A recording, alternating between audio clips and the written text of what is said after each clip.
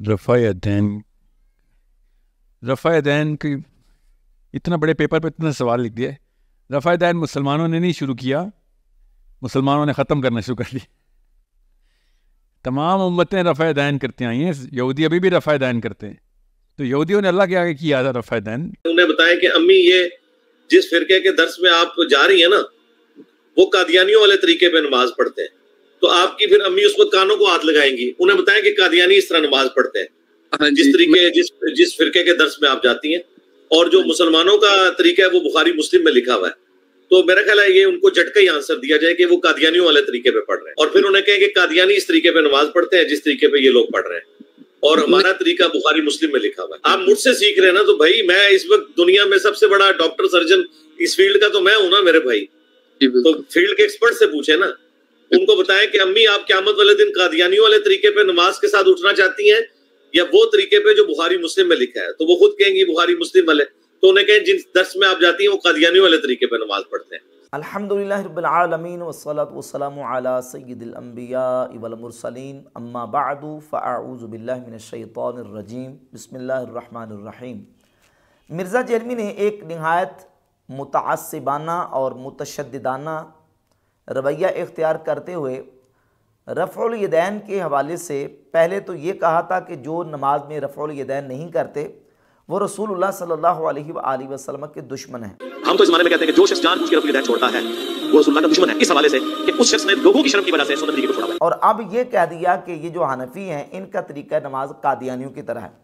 یعنی دنیا کے اندر کروڑوں حنفی مسلمان اور مالکی مسلمان جو نماز کے اندر رفع الیدین نہیں کرتے ان کے طریقہ نماز کو مرزا جیلمی نے قادیانیوں کے طریقہ نماز کی طرح کہا کہ ان کا نماز کا طریقہ قادیانیوں کی طرح ہے، قادیانیوں کی طرح یہ لوگ نماز پڑھتے ہیں اور تم قادیانیوں کی طرح نماز پڑھنا چھوڑ دو، یہ تھم نے کا عنوان لکھا ہے۔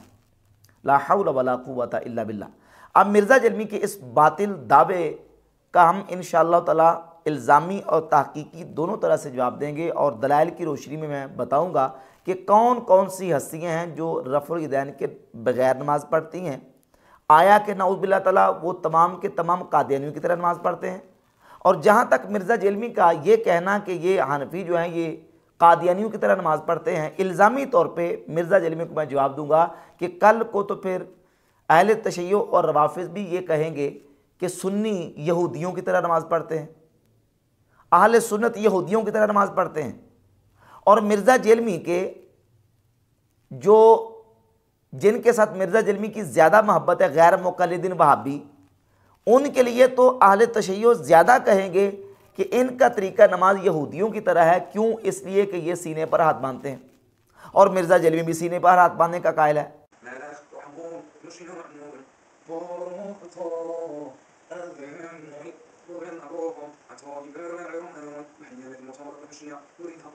Hashem, open my lips so that my mouth may relate your praise.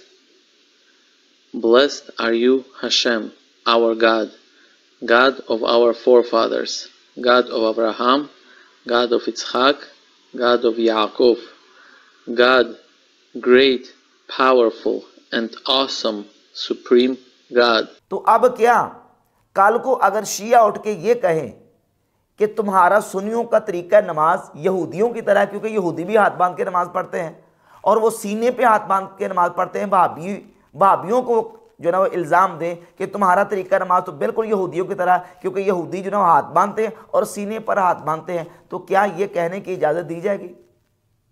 اور کل کو اگر سنی شیعہ کو یہ کہیں کہ شیعہ کا طریقہ نماز عیسائیوں کی طرح ہے، کیونکہ وہ نماز میں ہاتھ نہیں باندھتے، وہ جب عبادت کرتے ہیں تو ہاتھ چھوڑ کے عبادت کرتے ہیں۔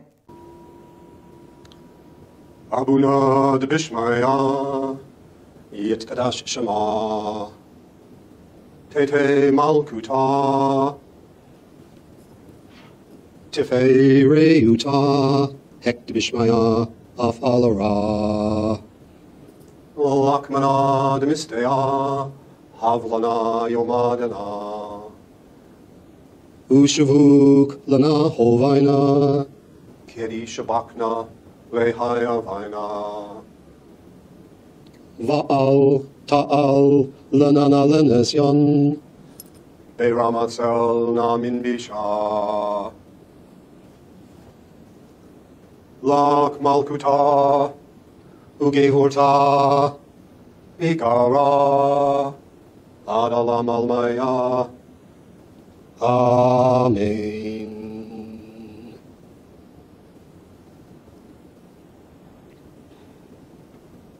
اور پھر یہودی اور عیسائی وہ ہاتھ اٹھاتے بھی ہیں۔ اپنی عبادت کرتے وقت وہ ہاتھ اٹھاتے بھی ہیں۔ اگرچہ وہ ہاتھ دعا کے لیے اٹھاتے ہیں، اپنے چہرے پر ملتے ہیں، لیکن ہاتھ اٹھاتے بھی ہیں۔ تو یہ کیا کہا جا، جائے گا؟ نعوذ باللہ تعالیٰ کہ جو لوگ اس طریقے سے نماز پڑھتے ہیں یا نماز میں رفع الدین کرتے ہیں، اپنے ہاتھوں کو اٹھاتے ہیں، ان کا طریقہ نماز یہودیوں کی طرح ہے یا عیسائیوں کی طرح ہے۔ جیسے یہ نہیں کہا جا سکتا ویسے ہی کسی سنی مسلمان کو ٹاؤنٹ کرتے ہوئے یہ کہنا کہ ان کا طریقہ نماز قادیانیوں کی طرح ہے، یہ مرزا جیلمی کی ایک حنفیوں سے تعصب اور بغض کی واضح دلیل اور واضح نشانی ہے۔ باقی کون لوگ ہیں جو نماز میں رفع الیدین نہیں کرتے؟ میں نیچے سے اوپر انشاءاللہ چلتے ہوئے حوالہ جات پیش کروں گا۔ پوری دنیا کے اندر کروڑوں سنی حنفی مسلمان وہ ہیں جو نماز میں رفع الیدین نہیں کرتے، تو کیا ان کروڑوں سنی مسلمانوں کی نماز قادیانیوں کی طرح ہے؟ جبکہ قادیانی وہ ہیں کہ جو غیر مقلد ہیں، وہ کسی کی تقلید نہیں کرتے۔ یہ باقاعدہ ان کی کتابوں کے اندر لکھا ہوا ہے، اور میں اس پر دلائل بھی دے چکا ہوں کہ قادیانی کسی کی تقلید نہیں کرتے۔ اور اگر آپ عقلاً بھی بات دیکھیں، تو عقلاً بھی بات وہ ایسے ہی ہے، کیونکہ جب وہ مرزا غلام قادیانی کو اپنا نبی مان رہے ہیں۔ جب وہ اس کے لیے نبوت کلیم کر رہے ہیں، تو وہ اپنے مضعومہ نبی کو چھوڑ کر امام ابو نیفا جو کہ امتی ہیں، ان کی تقلید کیسے کریں گے؟ مرزا غلام قادیانی جب اپنے لیے نبوت کلیم کر رہا ہے، اپنے آپ کو نبی کہہ رہا ہے، تو وہ اپنے آپ کو نبوت کا دعویٰ کر کے اپنے لیے وہ ایک امتی کی تقلید کیسے کرے گا؟ تو مرزا غلام قادیانی وہ امام اعظم ابو نیفا کی تقلید نہیں کرتا تھا، نہ قادیانی کرتے۔ اب ان کا طریقہ نماز یہ ہے کہ بعض قادینی وہ ہیں جو رف الدین کرتے ہیں اور بعض وہ ہیں جو رفلی الدین نہیں کرتے۔ اب پوری دنیا کے اندر کروڑوں حنفی مسلمان ہیں جو نماز میں رف الدین نہیں کرتے اور لاکھوں مالکی مسلمان بلکہ کروڑوں ایسے مالکی مسلمان ہیں جو نماز کے شروع کے علاوہ باقی مقام پہ رف الدین نہیں کرتے۔ امام مالک رحمۃ اللہ کی جو فقہ کی معروف کتاب ہے، جس کو مرزا نے بھی موتبر مانا ہے المدورت القبرہ کی پہلی جلد صفحہ نمبر ایک سو اٹھارہ اور ایک سو انیس نکال کر دیکھ لیں۔ صفحہ نمبر ایک سو اٹھارہ پہ موجود ہے کہ امام مالک رحمۃ اللہ تعالیٰ فرماتے ہیں کہ میں نماز کے شروع کے علاوہ باقی مقام پہ رف الدین کو جانتا ہی نہیں۔ اور امام مالک کے نزدیک نماز کے اندر شروع کے علاوہ باقی مقام پہ رف الدین کرنا یہ ضعیف ہے۔ یہ المدونت القبرہ کی پہلی جلد صفحہ ایک سو اٹھارہ پہ لکھا ہوا ہے۔ اور پھر اس سے اوپر چلے جائیں۔ یعنی امام ابو نیفا کے پیروکار، امام مالک کے پیروکار، وہ بھی نماز میں رف الدین کرتے۔ اور وہ تابعین جنہوں نے رسول اللہ صلی اللہ علیہ وآلہ وسلم کے صحابہ سے نماز کا طریقہ سیکھا، وہ بھی نماز کے شروع کے علاوہ باقی مقام پہ رف الدین نہیں کرتے۔ یہ مصنف ابن ابی شیبہ ہے اور اس میں دو ہزار چار سو اکسٹھ نمبر روایت ہے۔ ابو اسحاق کہتے ہیں کہ وہ لوگ جو حضرت علی کے شاگرد ہیں اور حضرت عبداللہ ابن مسعود کے شاگرد ہیں، حضرت علی اور حضرت عبداللہ ابن مسعود کے شاگرد یعنی جنہوں نے نماز کا طریقہ مولا علی اور عبداللہ ابن مسعود سے سیکھا ہے، وہ شروع نماز کے علاوہ باقی مقام پہ رفع الدین نہیں کرتے۔ جامع ترمزی میں دو سو ستاون number two five seven number حدیث کے تحت امام ترمزی رحمۃ اللہ تعالیٰ نے عبداللہ بن مسعود کی حدیث بیان کی اور بیان کر کے فرماتے ہیں وَبِهِ يَقُولُ غَيْرُ وَاحِدٍ مِّنْ أَهْلِ الْعِلْمِ مِّنْ أَصْحَابِ نبی صلی اللہ علیہ وآلہ وسلم والتابعین کہ نبی پاک صلی اللہ علیہ وآلہ وسلم کے اہل علم کثیر صحابہ اور کثیر اہل علم تابعین، ان کا بھی موقف یہ ہے کہ وہ نماز کے شروع کے علاوہ باقی مقام پہ رفع الیدین نہیں کرتے۔ تو کیا ان صحابہ اور ان تابعین کی نماز بھی قادیانی والی نماز ہے؟ حنفیوں کی نماز بھی نوز بلا قادیانی والی، مالکیوں کی نماز بھی قادیانی والی، اور جنہوں نے مولا علی سے نماز سیکھی، ان کی نماز بھی قادیانیوں والی، جنہوں نے عبداللہ بن مسعود سے نماز سیکھی، ان کی نماز بھی قادیانیوں والی، اہل علم صحابہ کی نماز بھی قادیانی والی، تابعین کی نماز بھی نوز بلا تعالیٰ قادیانی والی۔ اور وہ اہل علم صحابہ کون ہیں؟ جو نماز کے شروع کے علاوہ باقی مقام پہ رفع الدین کرتے، وہ مولا علی رضی اللہ تعالیٰ نے صحیح سنت سے امام ابو بکر ابن ابی شیبہ اپنی کتاب مصنف ابن ابی شیبہ میں دو ہزار چار سو ستاون number two, four, five, seven number حدیث لے کے آئے۔ امام ابو بکر ابن ابی شیبہ امام وکی سے، امام وکی ابو بکر ناشلی سے، ابو بکر ناشلی عاصم بن قلیب سے اور عاصم بن قلیب قلیب بن شہاب تابی سے یہ حدیث لے کے ہے کہ قلیب بن شہاب تابی کہتے ہیں کہ مولا علی جب نماز پڑھتے تھے تو نماز کے شروع کے علاوہ باقی مقام پہ رفع الیدین نہیں کرتے تھے۔ یہ حدیث بالکل سند کے اعتبار سے صحیح ہے۔ امام بدر الدین عینی نے عمدت القاری شروع صحیح البخاری کی جلد پانچ میں اس حدیث کو صحیح قرار دیا۔ امام زیلعی نے نصب الرائے کی پہلی جلد میں اس حدیث کو صحیح قرار دیا اور اس حدیث کا ایک ایک راوی سکا امام ابو بکر ابن ابی شعب بھی سکا ابو بکر ناشری بھی سکا عاصم بن قلیب بھی سکا قلیب بن شعب بھی سکا تمام سکہ راویوں سے یہ صحیح حدیث موجود ہے کہ مولا علی نماز کے شروع کے علاوہ باقی مقام پہ رفع الیدین نہیں کرتے تھے، تو کیا مرزا جلمی نعوذ باللہ تعالیٰ یہ کہے گا کہ مولا علی کی نماز نعوذ باللہ تعالیٰ قادیانی والی نماز ہے؟ العیاذ باللہ تعالیٰ۔ اور کوئی ایک بھی حدیث، ذخیرہ حدیث میں سند صحیح کے ساتھ ثابت نہیں ہے کہ مولا علی نماز میں رفع دین کرتے ہوں۔ ہاں ترک رفع دین مولا علی سے نماز میں رفع دین نہ کرنا یہ سند صحیح سے مصنف ابن ابی شہبہ سے ثابت ہے۔ چوبیس سو ستاون نمبر حدیث۔ ایک روایت مرزا جلمی پیش کرتا ہے کہ مولا علی نبی پاک علیہ السلام کی نماز کا طریقہ رفع دین سے بیان کرتے ہیں اور وہ روایت میں اس پر باقاعدہ ویڈیوز بنا چکا ہوں۔ وہ روایت سند کے اعتبار سے ضعیف ہے۔ کیونکہ اس میں عبد الرحمن ابن ابی زناد راوی ہے، جو کہ جمہور محدثین کے نزدیک ضعیف راوی ہے۔ یہ امام حیثمی کے مجمع زوائد ہے۔ جلد نمبر چار، صفحہ نمبر چار سو سات میں امام حیثمی فرماتے ہیں کہ دعفہ الجمہور عبد الرحمن ابن ابی زناد کو جمہور محدثین نے ضعیف قرار دیا ہے۔ تو یہ روایت عبد الرحمن ابن ابی زناد کی وجہ سے ضعیف ہے، جو مولا علی کے والے سے بیان کی جاتی ہے۔ مولا علی کا اپنا عمل کیا ہے؟ اپنا عمل یہ ہے کہ نماز کے شروع کے علاوہ باقی مقام پہ رفع دین مولا علی نہیں کرتے۔ تو نعوذ باللہ تعالیٰ کیا مولا علی کے بارے میں جرمی یہ کہے گا کہ نعوذ باللہ وہ ان کی نماز جو نا وہ قادیانیوں کی طرح، العیاذ باللہ تعالیٰ۔ پھر مصنف ابن ابی شہبہ کے اندر حدیث موجود ہے، چوبیس سو انہتر۔ امام اسود تابی کہتے ہیں کہ میں نے حضرت عمر فاروق خلیفہ راشد کے ساتھ نماز پڑھی تو حضرت عمر بھی نماز کے شروع کے علاوہ باقی مقام پہ رفائدان نہیں کرتے۔ چوبیس سو سڑسٹھ، دو ہزار چار سو سڑسٹھ۔ نمبر حدیث ہے، امام مجاہد تابی کہتے ہیں کہ میں نے عبداللہ ابن عمر کو نماز پڑھتے دیکھا، عبداللہ بن عمر نماز کے شروع کے علاوہ باقی مقام پہ رفائدان نہیں کرتے تھے۔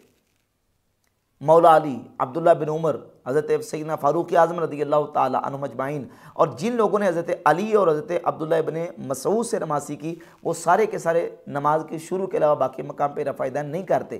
تو کیا مرزا جلمی ان سب کے بارے میں یہ کہے گا کہ ان کی نماز نعوذ باللہ قادیانی والی نماز ہے؟ علیہ باللہ تعالیٰ۔ کیونکہ نبی پاک صلی اللہ تعالیٰ علیہ وآلہ وسلم سے نماز میں رفع الدین کا ترک ثابت ہے۔ امام ترمزی جامع ترمزی میں دو سو ستاون نمبر، اور امام نسائی اپنی سنن نسائی کے اندر ایک ہزار چھبیس نمبر حدیث لے کے ہے یہ میرے پاس جامع ترمزی کا نسخہ ہے جو ریاض سعودی عرب سے چھپا ہے، اس پر ناصر الدین البانی کی تحکیم ہے۔ اس میں دو سو ستاون نمبر حدیث ہے، سیدنا عبداللہ ابن مسعود رضی اللہ تعالیٰ عنہ سے مروی، جس کو ناصر الدین البانی نے صحیح قرار دیا۔ اور یہ سنن نسائی اس میں ایک ہزار چھبیس نمبر حدیث ہے۔ اس میں بھی ناصر الدین البانی نے اس حدیث کو صحیح قرار دیا۔ اور وہ حدیث یہ ہے کہ سیدنا عبداللہ ابن مسعود رضی اللہ تعالیٰ عنہ فرماتے ہیں اللہ وسلی بکم صلاۃ رسول اللہ صلی اللہ علیہ وآلہ وسلم۔ کیا میں تمہیں رسول اللہ صلی اللہ علیہ وسلم کی نماز پڑھ کے دکھاؤں؟ فصلہ فلم یرفع یدہ الا فی اول مرتن۔ تو آپ نے نماز پڑھ کے دکھائی۔ نماز کے شروع کے علاوہ باقی کسی مقام پہ رفع دین نہیں کیا۔ نہ رکوع جاتے، نہ رکوع سے اڑتے نہ سجدے جاتے، نہ سجدے سے اڑتے اور بتا دیا کہ یہ رسول اللہ صلی اللہ علیہ وآلہ وسلم کی نماز ہے۔ تو نبی پاک صلی اللہ علیہ وآلہ وسلم سے اس کا ترک کرنا ثابت ہے۔ احادیث موجود اور اسی پر امام اعظم ابو حنیفہ کا عمل، اسی پر امام مالک کا عمل ہے۔ المدونت القبرہ کی پہلی جلد صفحہ ایک سو انیس اٹھا کر دیکھ لیں۔ امام مالک کا اسدلال عبداللہ ابن مسعود کی حدیث سے ہی ہے اور وہ نماز کے شروع کے علاوہ باقی مقام پہ رفع الدین کرنے کے قائل نہیں۔ تو آئمہ مجتہدین میں سے امام ابو حنیفہ، امام مالک اور کثیر اجلہ اہل علم صحابہ، اہل علم تابعین اور امت کی اکثریت، وہ نماز کے شروع کے علاوہ باقی مقام پہ رفائدہ نہیں کرتی۔ کیا ان ساروں کی نماز نعوذ باللہ تعالیٰ قادیانیوں کی طرح ہے؟